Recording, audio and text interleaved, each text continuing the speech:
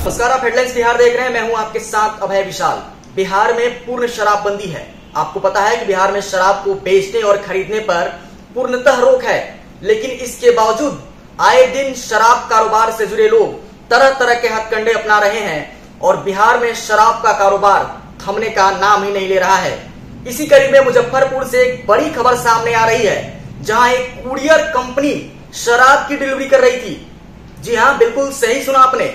Courier company जो है, वो शराब की डिलीवरी कर रही थी और उत्पाद विभाग की टीम गुप्त सूचना के आधार पर छापेमारी की है, जहाँ से बड़ी खेप मिली है शराब की। आप खुद सुनिए, क्या कहते नज़र आ रहे अधिकारी? साहब ने यहाँ छापेमारी करी है, और छापेमारी में हमें यहाँ शराब बरामद हुई, अभी आगे की कार्रवाई चल रही है, और किसके नाम से ये गोडाउन अलॉटेड है और कौन कौन इसके मालिक है ये सारी जानकारी मिलने के बाद ही हम आगे की कोई जानकारी ये किस जगह पे जो है यह बरामद हुआ है कि कहाँ पे? जिला परिषद का गोडाउन है जो दुकान है और किसी को आवंटित है। आवंटित है ये। अब किन का है नहीं है ये सारी जानकारी लेने के बाद ही हम उस पर कुछ विशेष टिप्पणी दे पाएँगे। कुल कितने गो- गोदाम है जिन पे छापेमारी की गई और शराब बरामद हुई है? अभी एक गोडाउन पे हुआ है बाकी और जानकारी इकट्ठा की जा रही है। जैसे सारी जानकारी मिलेगी हम आपको भी सूचना कुछ लोगों को हिरासत में लेने की बात आ रही है?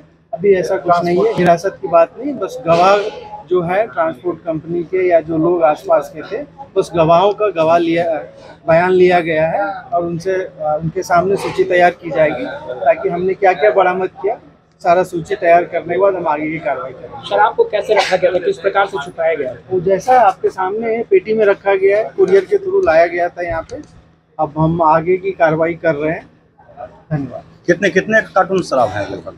अभी तो काउंटिंग चल ही रही है। हमें जितनी जानकारी मिली थी बता दिया। मामला मुजफ्फरपुर का है जहाँ उत्पाद विभाग की टीम को गुप्त सूचना प्राप्त हुई थी कि मुजफ्फरपुर के नगर थाना क्षेत्र के जिला परिषद मार्केट में एक कुरियर कंपनी के द्वारा शराब की बड़ी खेप पहुँची है।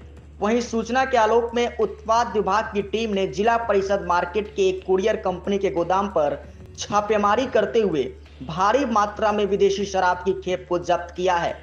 आपको बता दें कि मामला सरकारी भवन के होने के कारण मद्य निषेध विभाग की टीम ने छापेमारी स्थल पर मजिस्ट्रेट के तौर पर डीसीएलआर पूर्वी विनीत कुमार के समक्ष छापेमारी की सारी प्रक्रिया पूरी की। वहीं मामले की जानकारी देते हुए मजिस्ट्रेट सह डीसीएलआर पूर्वी विनीत कुमार ने बताया कि मध्य निषेध विभाग को गुप्त सूचना प्राप्त हुई थी कि नगर थाना क्षेत्र के जिला परिषद मार्केट के कुरियर कंपनी के गोदाम में भारी मात्रा में विदेशी शराब की खेप पहुँची है।